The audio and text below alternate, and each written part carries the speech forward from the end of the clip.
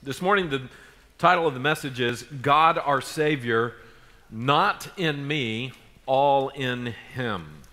And uh, for those of you who are new to us this morning, we want you to see the context and review. Take your outline and notice there with me, right under the words context and review, it says, The Apostle Paul has left missionary Titus on the island of Crete to straighten out wayward churches. So they had churches there, even in the first century, that were messed up and they needed to be straightened out. Those churches had problematic leaders, doctrine, and behavior. When you study the Bible, it's good to know what the context of the scripture you're studying is. If you study the book of Titus, you need to understand that they didn't have good leaders, they didn't have sound doctrine, and they weren't acting like Christians. And that's why Titus was left there to straighten it out. We have many churches in the same condition today all around us here, not only in America, but in Europe and around the world. Many churches have gotten off track. We need to come back to what the truth is. We need the right leaders, we need the right doctrine, and we need to act like Christians. And so that's part of what this letter is all about, and therefore it applies to Sheridan Hills. We need to be very careful that we allow the truth of God's word to be affecting who we are as a church. Notice the next statement that is on there. The life of church members is to be, do you remember what we said last week? Distinctly Christian. Our life that we live should be distinctly Christian while in the surrounding culture. Jesus said, I do not pray that you take them out of the world. We are to be in the world, but we are not to be of the world, like the world. In fact, this world is passing away, but the truths of God are eternal and the values of God are worth our sacrifice in order to pursue His plan for not only our salvation, but the way that we live. And so, the life of church members should be distinctly Christian. It should be obvious that you're a Christian. Now, this put out there to the side. This does not mean odd for God. There's some people that just, you know, they wear two different color socks because they want everybody to know they're a Christian. That's weird. Don't be weird. We don't need more weird Christians. We don't need people that re- wear their Christianity on their sleeve as, as you know, something that you are trying to draw attention to in that way, especially to yourself. But we are called to live according to what God's Word says. Notice the next line that is there. When we live a distinct, distinct life, here's the idea this is a powerful witness for showing Christ to a godless culture like Crete, or as we said last week, like South Florida. Um, a lot of people don't share our values. A lot of people don't share our lifestyle. A lot of people um, are really living for what they're going to drive or how they're going to look or how they're going to wear or where they're going to go on vacation or all of these other things that are very temporal. They're very temporary. True Christians are to live their lives in light of what God's word says about all of eternity, not just about this life. And so we are seeking to live by faith in the things that God has said, honoring Him and seeking Him in each day. So, how do we do that? As we, as we remember the passage from last week and as we remember the other passages throughout the book of Titus, I want us to come to the passage this morning in the box on the page. Now, the first two verses are what we looked at last week. And then the underlined verses are what I'm going to preach through this morning very quickly. And then verses 8, 9, and 10, and 11 will be for next week. But let's look and let's see the passage in the box on the page. In verse 1, we saw last week, it says in Titus chapter 3, verse 1, remind them to be submissive to rulers. Titus is being told to tell the churches what to do that they are to be submissive to rulers and authorities, to be obedient, to be ready for every good work, to speak evil of no one, to avoid quarreling, to be gentle, and to show perfect courtesy toward all people. Now, the point is that he's saying you are to look different than the Crete around you. The Crete, the people that were throughout Crete around them were not submissive. They were not obedient. They were not ready to be a service to others. They were not courteous. They were known as a very rough people. And what he is saying is if you're Christians and you live in Crete and you, you call yourself a Christian in the body of Christ, you need to live like it. Now, look at verse 3, where we go this morning. Circle the word for. So that's a linking idea to the rest of the passage that just came before it. So there were these instructions given in 1 and 2, and now we come to verse 3. For we ourselves were once foolish, disobedient, led astray, slaves to various passions and pleasures, passing our days in malice and envy, hated by others and hating one another. Now that's a mouthful in verse 3. He's saying, Look, we used to be just like the people that are out there in the Cretan culture. We were just like everybody else that's come in from all over the Mediterranean world, and they're just kind of living for the here and now. They're sleeping with whoever they want to sleep with. They're, they're just really uh, twisting things, the truth, and they're just kind of going along to get along where they have to. And I mean, there's all kinds of uh, bad business deals. I mean, we, we know that they weren't people of truth. They would lie and rip people off. They were known as that. They were known as shysters in the Mediterranean world. And so what they're saying is, look, we used to all do the same thing, but when we came to Jesus, everything changed. And so that that's why Christians should look different than the world. We aren't living for the here and now. We are living for eternity. We're living according to a different set of values. So in verse 3, he's saying, Look, for we ourselves were once like this. Look at verse 4, another linking word. But, circle the word but. But, see, we used to be like that, but when the goodness and loving kindness of God our Savior appeared, I love it. Look at verse 5. He saved us, not because of works done by us in righteousness, but according to what? His own mercy by the washing of regeneration and renewal of the Holy Spirit, whom he poured out on us richly through Christ Jesus, our Savior. That's the second time the word Savior shows up. Verse 7 so that being justified by his grace, that means being made right by his grace, we might become heirs according to the hope of eternal life. That means that you inherit all that God has in eternal life. We are truly experiencing the changed life and the promises of God. So, I've said this before, and just kind of look up right here at the end of my nose for a minute. We need, we need to understand this. Cultural Christianity is always looking for the do's and the don'ts of what you, what you got to do and what you can't do in order to look good in being a Christian. So there, there's sets of rules, there's sets of lists of things that you can do and that you shouldn't do, and those kind of change depending on the culture that the cultural Christianity is in.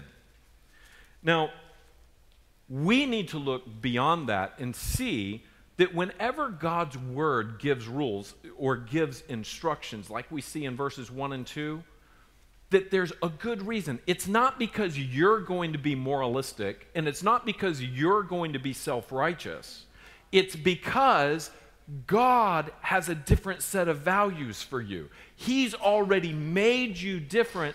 And so here's, here's the picture Ephesians, the whole book of Ephesians, is about getting your practice to match your position.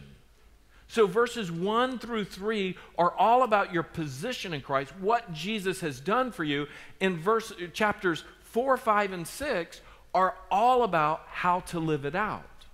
And so if we miss all of the reasoning and the values behind instructions like like lists of make sure you're doing this and make sure you're doing that, then we'd simply become legalistic. But if we interpret all of those instructions and those rules based upon what God's grace has done in our life or His wisdom and His values in our life, then we're not living them for the wrong reasons of self righteousness, but we're living them because this is who we are.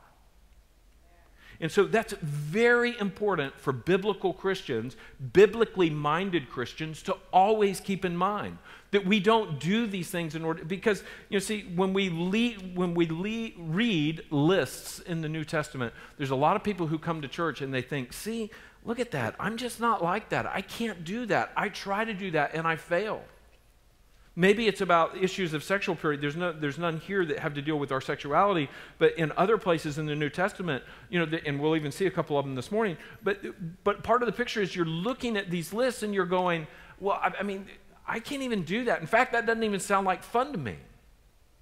You know, isn't life about, you know, pleasure and enjoying life and all of that? The plaisir de vie. I mean, the French are really good at that and, and everything else. I mean, what, what about you know, what about all of that? And we, what we have to recognize is, is that God's values are different. And for the true Christian, we begin to see that his glorious plan for us and his glorious values are totally worth our pursuit.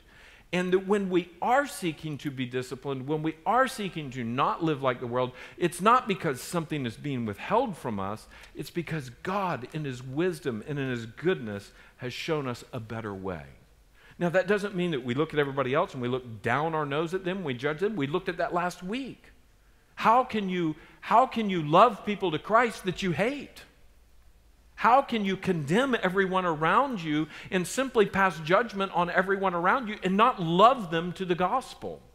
We don't need angry Christians that hate everybody that's a pagan. What we need is joyful Christians that love those who remember, and they remember what it was like to be holding on to this world's values.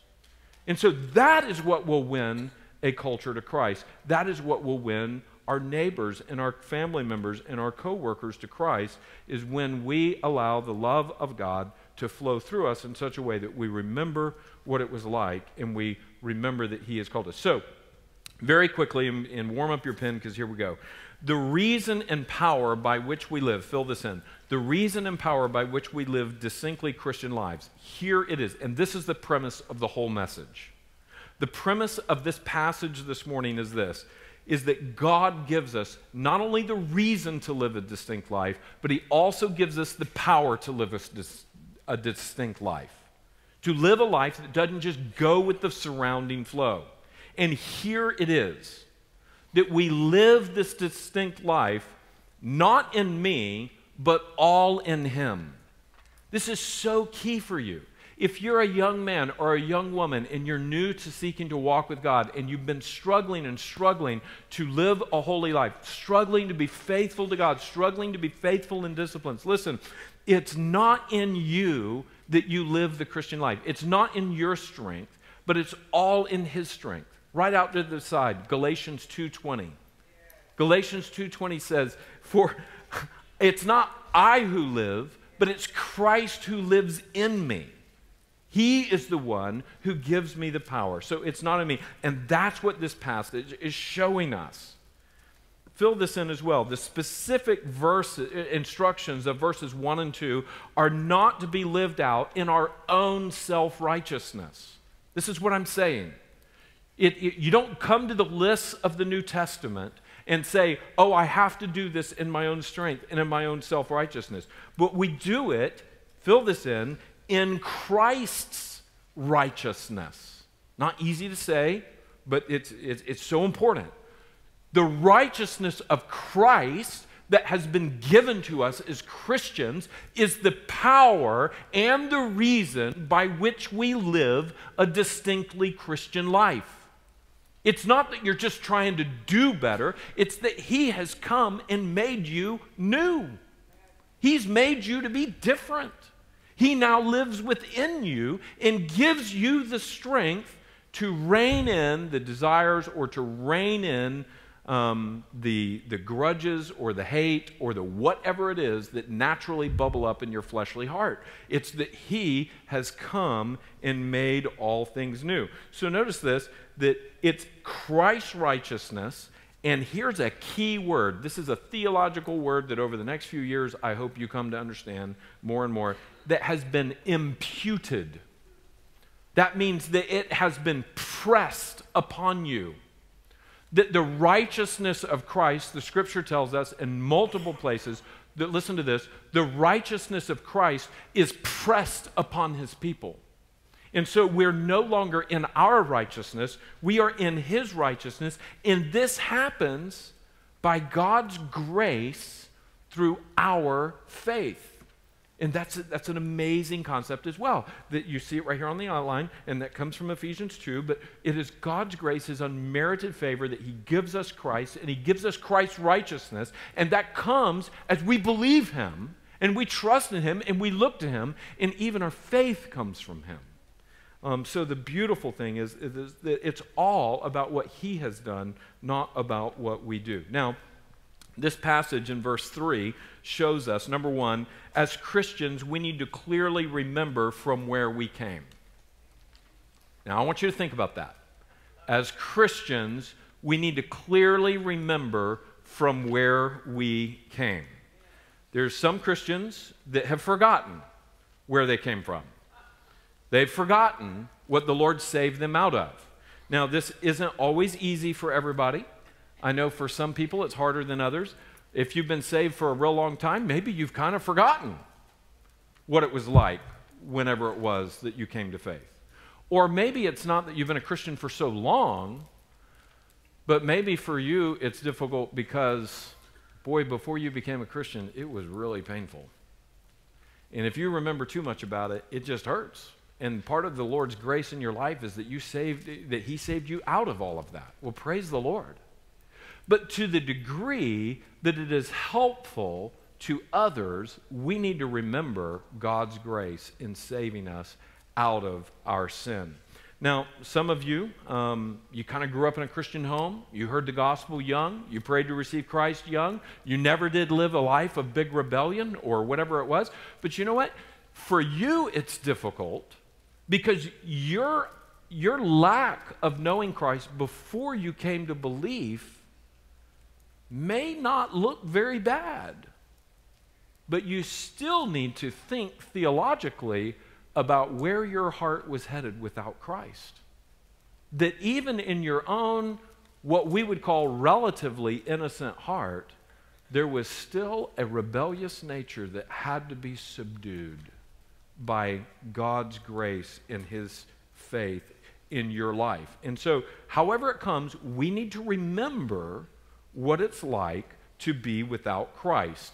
In fact, in 1 Corinthians, I want you to see this, chapter 6 and verse 9 through 11. This is a theme that comes up numerous times in Paul's writing that he's saying you need to remember. But look at the passage that's on the screen in front of you. Paul is writing to the Corinthian people and he says, Or do you not know that the unrighteous will not inherit the kingdom of God? Do not be deceived.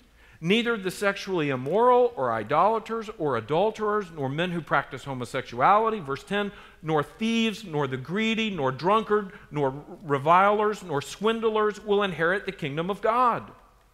Look at verse 11. And such were some of you. But you were what? You were washed. You were sanctified. You were made right. That means just that that's justified. You were made right. Where? In the name of the Lord Jesus Christ and by the Spirit of our God. So this passage in 1 Corinthians 6 shows us that in the Corinthian church, there were all these people that, like the Cretan churches, they had come in from out, of the, out in the world. They were pagans just like anyone else. And they used to be all these things. But God's truth changed them. He rescued them from a life of destruction that was headed to an, an eternity with destruction. And so they're rescued from an eternity of destruction. How did that happen? It was all due to what Jesus did. Look at 1 Corinthians chapter 12 verse 1 and 2. Now, concerning spiritual gifts, and this is on the screen. Now, concerning spiritual gift, gifts, brothers, I do not want you to be uninformed. You know that when you were pagans, you were led astray to what? Can you imagine trading a carved thing made by human hands that are mute? I mean, I mean the, the idols are mute, they don't speak. Why would you choose a piece of stone or a piece of gold or a piece of you know, wood and say, This is my God, and it cannot speak. What a deceptive lie of the enemy. That I mean, and you say, "Well, I would never do that. In fact, I would never worship anything like that." No, you just may drive what you worship. Or you may live inside what you worship. Or you may look forward and go through all the websites and the magazines in order to, to get to what you worship in vacation or lust or whatever it is. You see, I mean, before we get too hard on them carving idols and some things like that, we can, you know, it is possible to have the idol of our children. It is possible for parents to worship their children and, and allow children to become the center of everything. The, you know, the child's needs and the child's desires and the child's this and child's, you know, it's just a, a newborn baby or a, or a five year old or a 12 year old or a 15 year old or a 30 year old. And we live our lives revolving around this child when God has said, oh no, oh no. You come and you idolize me. You come and you worship me. I am the one who is not a fake God, but a true God who speaks. Look at Ephesians chapter 2, verses 1 through 7 on the screen in front of you. In verse 1, it says, And you were dead. I've underlined that. It says, look what it says. And you were dead in the trespasses and sins in which you once walked, according to the course of this, following the course of this world. Look what it says following the prince of the power of the air, the spirit that is now at work in the sons of dis- disobedience. Verse 3 Among whom we all once lived in the passions of our flesh, carrying out the desires of the body and the mind, and were by nature children of wrath like the rest of mankind. Verse 4, love it. What does it say? But God. So you used to be like this, but God did something. Look what God does. But God, being rich in mercy, because of what? His great love with which he loved us, verse 5, even when we were dead in our trespasses, made us alive together with Christ. By grace you have been saved. And he raised us up with him and seated us with him in the heavenly places in Christ Jesus, so that in the coming ages, this is the coming eternity, he will show the immeasurable riches of his grace in the kindness towards us that are who? That are in Christ Jesus. Here's the picture is that you used to be like this, but you're not like this anymore, so don't act like that anymore.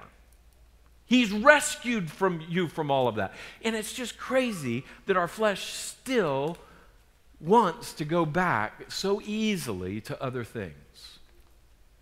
And God just calls us to continue to choose His kingdom over our kingdom, to choose His eternity over this temporal, very, very shallow um, life. And so that's part of what we see here in this passage is that we're being called to remember. Now, fill these in very quickly as we go. Remembering um, where we came from, remembering who we were, can knock down our spiritual pride you know, before you get too self righteous, um, when you remember where you came from, you, you won't have very much spiritual pride. And not only that, remember, remembering can build up our compassion and patience. So that when you're looking at the young man or the young woman or the neighbor or whoever it is, or maybe it's your parents, you're looking at the people that you are so desiring that they would come to know Jesus. You need to have patience and compassion for them more than you need to simply judge them and write them off. And if you will remember what it was like before you came to faith, maybe you will have more patience and more compassion with them. And I believe that that's why Paul is telling the, the Cretan Christians look, remember that you used to be just like these people that are around them, so be careful how you live and remember from where your grace comes. Look at verse 2, or number 2. As Christians, not only do we need to clearly remember, but we need to clearly realize how we got here. How did we become Christians? And that's what Paul is going after here. He's saying, I want you to live a certain way, and the reason I want you to live a certain way is because Jesus saved you to do that. And so don't keep going back to the way that the world lives. Look what it says. We need to realize how we got here. First of all, the first bullet point there is realize that God's goodness and mercy is the only reason you are saved. It is only because He is a good and merciful God. No one is saved because of their own inherent goodness. The only reason that you're saved is because of His goodness. Look at the next bullet point there. Realize that God's appearance as Savior is the only way in which you are saved. So it's not only the reason you're saved, but it's the only way. Right out there to the side, John 14, 6. Jesus said, I am the way, the truth, and the life. No one comes to the Father except through me. And so the only way that we're saved is the fact that it says that God is our Savior. Very good. I hear you turning over your sheet, turn over your sheet. Look at the next bullet point that is here, and we see this in verse 5. Look what it says there in verse 5. He saved us. Can you underline that up there on your outline in verse 5? He saved us. Now, we need to realize in this passage that the issue at hand is eternally serious. I mean, it doesn't get any more serious than this. And the word saved is an extreme, desperate term. It's not that your life was made better through Christ. It's not that your life was made more whole through Christ. It's not, it's not that something good happened through Christ merely. It is that you were eternally secured and saved from destruction in Christ. You see, this is, fill it in, a matter, what we call, of life and death. And even more than a matter of physical life and death, this is a matter of life and death spiritually. You know, it's one thing to die physically, but it is another thing to die spiritually, being eternally separated from God, and to go into a Christless eternity where you pay for your sins in eternity. That is what God's grace saves us from, being cut off from Him. Isaiah 59 says, Your sins have cut you off from God and separated you from God. Something has to deal with that. And the only way to deal with that, we see, is through the salvation of God in His Son, Jesus Christ. Look at the next statement here. It is a matter of salvation versus condemnation. You're either going to be saved and have the salvation of God, or you're going to be condemned. Now, the beautiful picture here is, is that the, these terms are very clear throughout the New Testament. That there's no, there's no hiding the fact Jesus is not just making you a better you. Jesus is saving you from you. And he's saving you for his glory. Look at the next bullet point that is here. We also see in this is that we realize that salvation is always God's doing and never our doing. It's always God's doing and never our doing. And this also comes out of verse 5. Look up there in verse 5. We just saw the beginning of it. It says, He saved us. But look at the next part in verse 5. In fact, would you read the next part out loud with me from verse 5 where it says, Not? Okay, you ready? not because of works done by us in righteousness, but according to his own mercy by the washing of regeneration and renewal of the Holy Spirit. So fill this in. Our salvation is always God's doing, and it's never our doing. It's not by our works. Now we see this in Psalm 13:5 and Psalm 51 verse 12. Both of them speak of God's salvation, not just my salvation. It's not that I'm not saving myself or it's all focused on me, it's all focused on the glory of God in this. Specifically, we want to say and make very clear, fill this in, specifically, we are not saved by our works. We are not saved by our works. In fact, I want you to see Ephesians 2 8 through 10. Usually we only quote 8 through 9, but I want you to see 8, 9, and 10 carefully. Look at this with me in verse 8. It says, For by grace you have been saved through faith, and this is not your own doing. It is the gift of God, not as a result of works, so that no one should boast, or no one may boast. For we are whose workmanship? You see, He is the one who did it. He not only makes us, but He saves us. Look what it says For we are His workmanship created in Christ Jesus for good works, which God prepared beforehand that we should walk in them. So there's this beautiful picture that God has not only made you for his salvation, calling you to himself, redeeming you from before the foundation of the world, a concept that is just is mind-blowing the more we start to think about it. But listen to this. He did it because he's got a plan for you to do good works. He's got a plan for you to show the world who He is. He's got a plan for you to live a distinct life so that you can be a blessing to others, changing them from not being into a Christless eternity, but a Christ full eternity, an eternity filled with all of the goodness and grace of God. So notice this with me. Salvation by human works, fill this in, is the most prevalent misunderstanding or distortion of the gospel. This is the greatest misunderstanding that the world has about how we can know God. We, we, we think, well, it's through human works, it's through doing the right thing. I just finished sharing the gospel. Next door with Starting Point, the very first thing that we cover is how is it that we can truly come to know God? It is not through good works. It is not through our own righteousness. It is not through our prayers and through our disciplines and through all of these things. Those may be good things, but that is not how we come to know God, and that is the greatest misunderstanding of all. When you ask people out here on the street, how is it that you come to know God? They will always say, well, you know, you got to do good. You got to have faith. You know, you know, if you haven't murdered anyone, that's probably going good for you, and some other things like that. You know, maybe maybe if, if you go to church, you help the poor, you help others. Um, you know, you you seek to do these things none of those things are bad. All of those things are good. It's just that if you depend upon those things, you're going to go to hell. When you trade your righteousness for Christ's righteousness and you say, no thanks to God, got it on my own, he says, no, you don't. You're not one of mine. The only way you can be one of mine is if you come to me through my sacrifice for your sins. And then you're one of mine and you're one of mine surely and forever, and there's nothing that can ever change it. And I've already planned all kinds of great, great ways to use you and work in your life and to show you my glory and to show you my goodness. So, this is the picture. Look at the next part here. Salvation by God's grace is what most distinguishes true Christianity from other religions. Salvation by the fact that it is simply by the goodness and the mercy of God.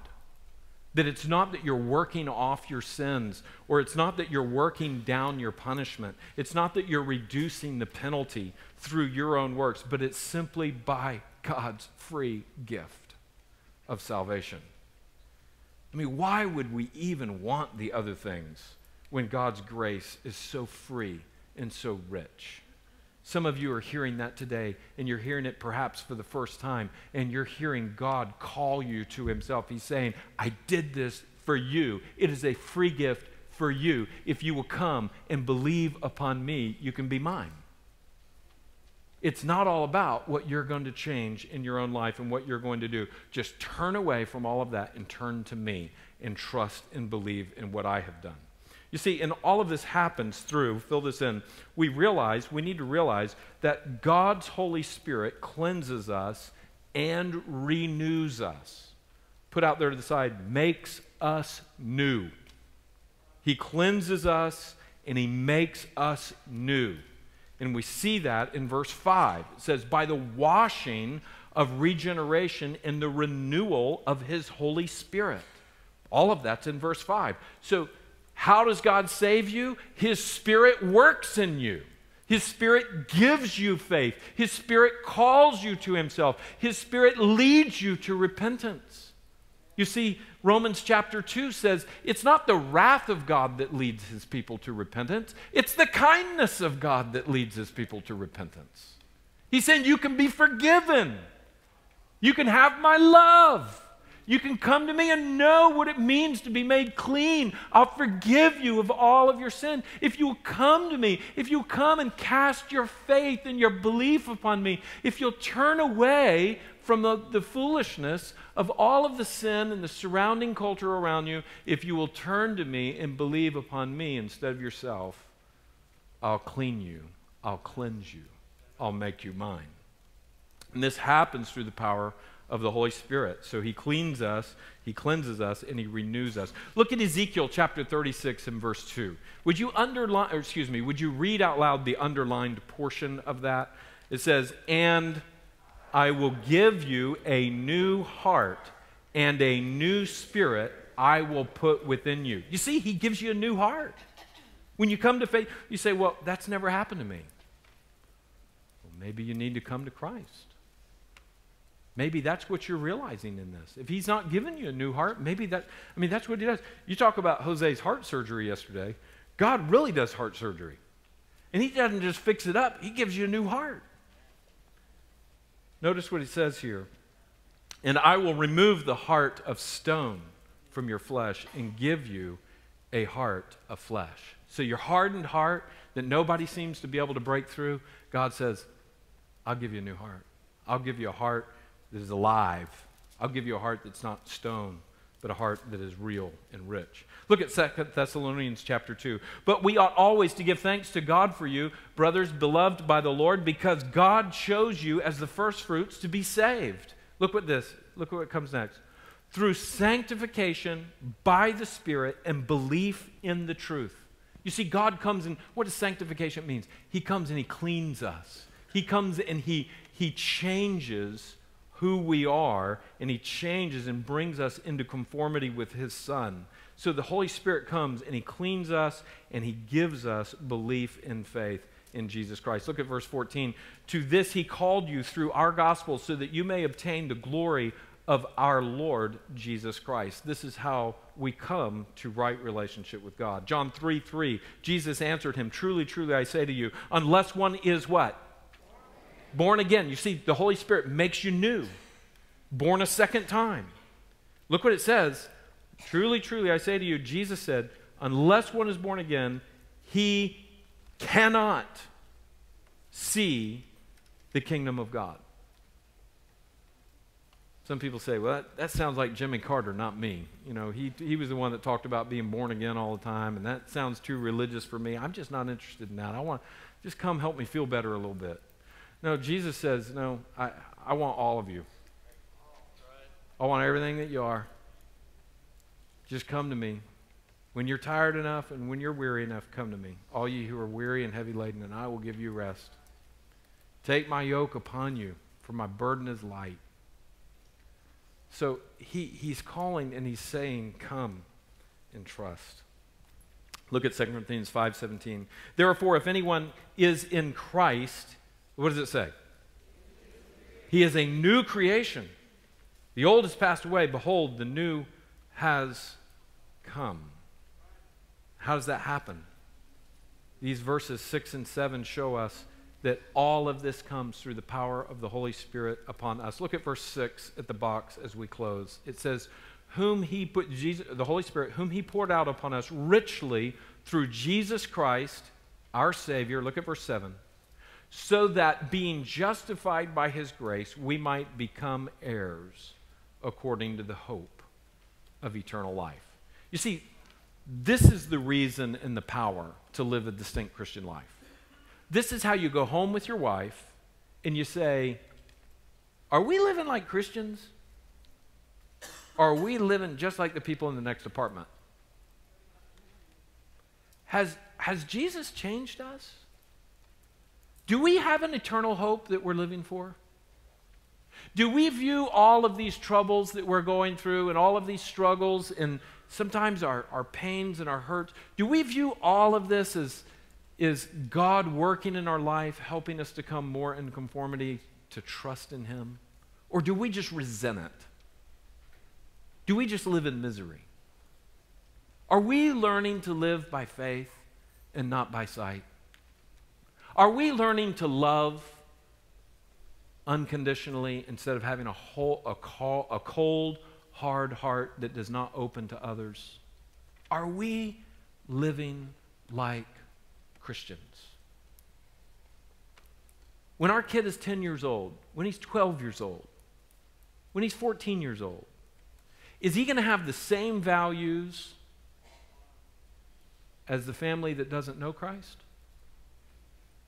Or is he going to say, Daddy, my friends don't understand this.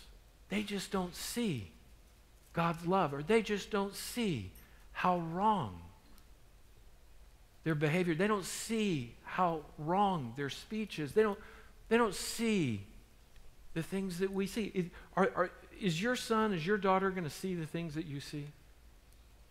You see, if we live distinct Christian lives, and if we are living lives pursuing God in His grace, all because He saved us, it's going to start to show not only to our children, but to the people that are around us. You see, we need to recognize and fill this in as the end. We need to realize that all this happens, all of this salvation, all this cleansing, all this renewal, it all happens, as we just read, through the substitutionary death of Jesus. What does substitutionary death mean? This is so important. He died in our place. I deserve to go to the cross, but He went to the cross in my place. I deserve to be condemned and cut off from God. But so that I could be reunited with God, He died in my place. And not only did He die in my place, but His victorious resurrection makes it so that I can live. You see, He rose so that I can live. The Bible tells us that if Christ be not raised, then our faith is in vain. So if Jesus was never raised from the dead, then we, we are victims of a scam.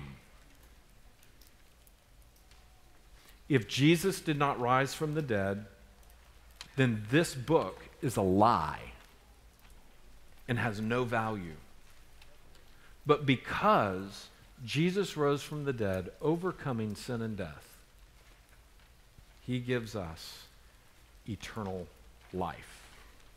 Now, that's a reason to live a distinct Christian life because he has saved us. Two key questions that are not on your outline. The first question is this I want you to see it. To be deadly honest, in what are you trusting? And I use the word deadly honest because that's the stakes. Are you trusting in your works or are you trusting in the mercy of God through Jesus Christ? Number two, have you been washed and renewed? You say, well, how does that happen? We just read that that happens by coming to faith in Jesus, coming to realize that He is our only hope. Next Sunday, there will be a table right here with a beautiful white linen cloth over it, and it will have some, some beautiful, shiny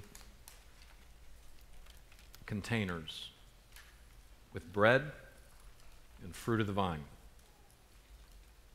And those two things remind us of everything that God did so that we might be made new.